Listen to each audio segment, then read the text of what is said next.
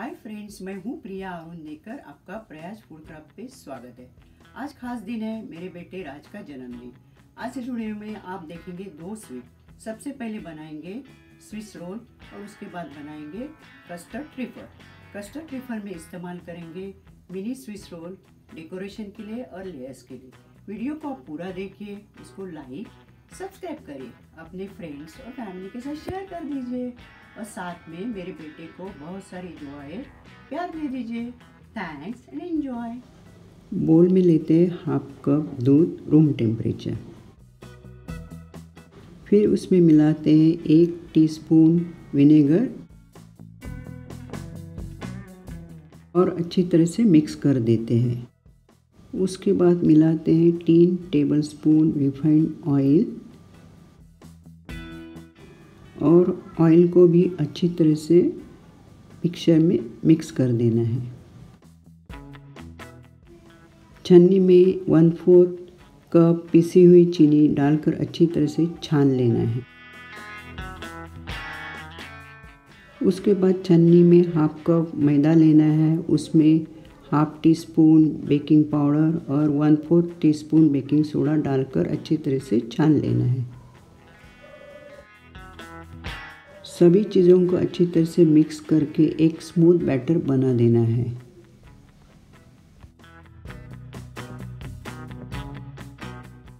उसके बाद vanilla essence के दो या तीन ड्रॉप उसमें मिक्स कर देना है। बैटर को दो समान भाग में डिवाइड कर देना है।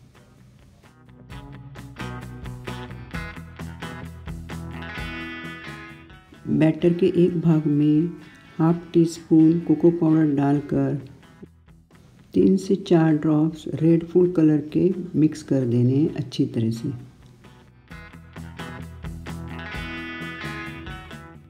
फ्राइंग पैन को सब जगह से अच्छी तरह से ऑयल से ग्रीस कर देना है।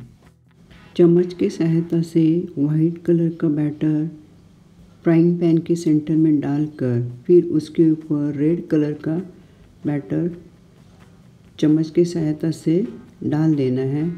फिर रेड कलर के ऊपर वाइट कलर का बैटर डालना है। इस तरह जब तक बैटर ख़त्म नहीं होते दोनों। फ्रेंड्स आपको इस तरह का प्रोसेस लगातार करते रहना है।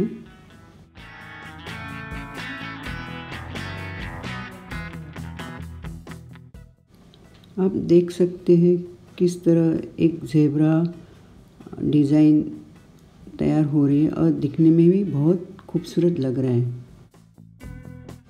दोनों बैटर ख़त्म होने के बाद इस फ्राइंग पैन को सावधानी से उठाकर गैस पे रखना है। अगर आप फ्राइंग पैन थिक बेस का इस्तेमाल कर रहे हैं तो फ्लेम मीडियम आँच पे रखनी है और पैन केक को पाँच से दस मिनट तक बेक करना है। उसी तरह अगर आपके फ्राइंग पैन का बेस पतला हो तो फ्लेम को आप लो रखें और उसको बेक करें फाइव से टेन मिनट। यहाँ आप देख सकते हैं फ्राइंग पैन को रखा है फ्लेम पे और उसको ऊपर से कवर कर दिया है। फाइव टू टेन मिनट्स के बाद इसको चेक करेंगे। फ्राइंग पैन ठंडा होने के बाद स्पैचुला के सहायता से पैन केक को इस तरह थोड़ा निकाल लेते हैं।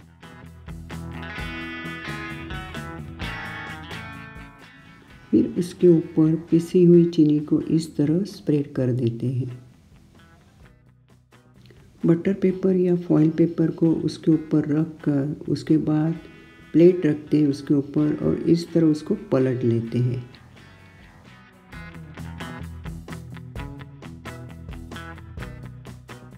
पैन केक को कट करेंगे स्क्वायर शेप में इस तरह। साइड के सारे टुकड़े पैन केक के आगे कस्टर्ड ट्रिफल बनाते वक्त इस्तेमाल करेंगे। अब एक पतली सी लेयर विप क्रीम की इस तरह लगा देते हैं।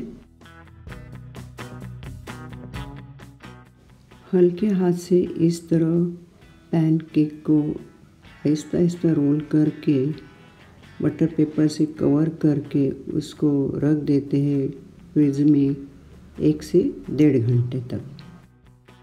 कस्टर्ड सॉस बनाने के लिए यहाँ 500 मिलीलीटर दूध लिया है और दो टेबलस्पून वनीला कस्टर्ड पाउडर दूध में से कुछ दो चम्मच दूध उसमें डालकर कस्टर्ड पाउडर को अच्छी तरह से मिक्स कर देना है और एक फाइन पेस्ट बना देनी है।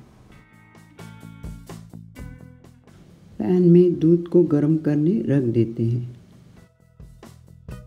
उसमें मिलाते हैं दो टेबलस्पून शक्कर।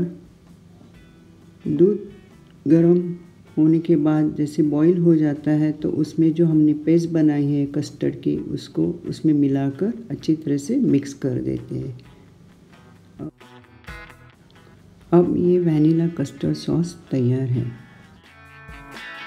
डेढ़ घंटे के बाद स्विस रोल को फ्रिज से निकाल देते हैं और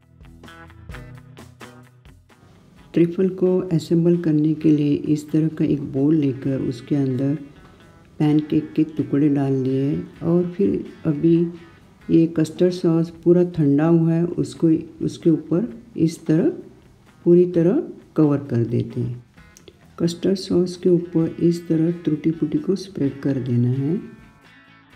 उसके बाद पाइपिंग बैग के सहायता से इस तरह व्हिप क्रीम का लेयर कस्टर्ड सॉस के ऊपर लगा देना है।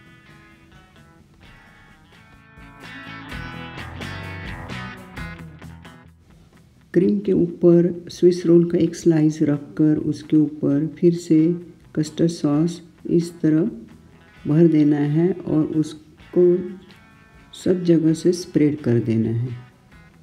कस्टर्ड सॉस स्प्रेड करने के बाद पाइपिंग बैग में स्टार नूडल से जो क्रीम है, उसको इस तरह सब जगह स्टार्स का डिज़ाइन बना देना है। सेंटर में स्विस रोल का दूसरा स्लाइस रखकर उसको इस तरह डेकोरेट कर देना है। आप individual Swiss roll custard trifle तैयार हो गए। फ्रेंड्स आज खास दिन है, इसलिए मैंने इस तरह स्विस रोल बनाकर उसको आधा कट करके उसके ऊपर कैंडल्स लगा दिए हैं और साथ में मिनी स्विस रोल के स्लाइस भी रखे साथ में एक चॉकलेट रोज़ दिखाई दे रहे हैं, उसकी लिंक इस वीडियो के डिस्क्रिप्शन बॉक्स में है। और उसके साथ मैंने जो इंडिविजुअल ट्रिफल बनाया, उसका बोल भी प्लेट में रखा है। अब ये कुछ फायर क्रैकर्स के चॉकलेट्स बनाए हैं। इसकी लिंक आप इसके डिस्क्रिप्शन बॉक्स में है चेक कर सकते हैं। बर्थडे स्पेशल स्वीट प्लेटर तैयार हो गया।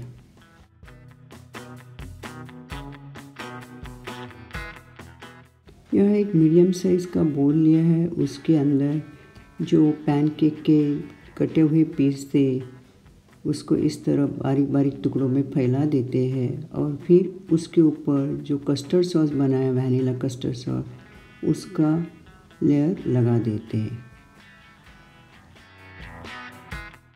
कस्टर्ड सॉस का लेयर लगाने के बाद उसके ऊपर स्प्रेड कर देते हैं टूटी फूटी सब जगह से। स्क्वायर साइज़ का बोल है, इसलिए उसके चारों साइड पे एक एक स्विस रोल के स्लाइस इस तरह लगा देते हैं। फिर पाइपिंग बैग के सहायता से विप क्रीम का एक लेयर इस तरह लगा देते हैं। उसके बाद स्विस रोल के कुछ स्लाइस क्रीम के ऊपर लगा देने हैं और फिर कस्टर्ड सॉस को इस तरह उसके ऊपर, स्विस रोल के ऊपर स्प्रेड कर देना है।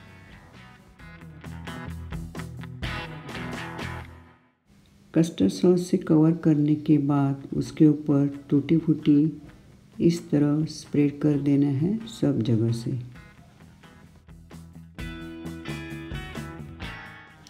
यहाँ आप देख सकते हैं पाइपिंग बैग की सहायता से मैंने इस तरह से स्क्वायर बना दिए हैं और उस स्क्वायर में मैंने जेली के क्यूब्स रखे आप चाहे तो मिनी स्विस रोल के स्लाइस भी रख के इसको डेकोरेट कर सकते हैं।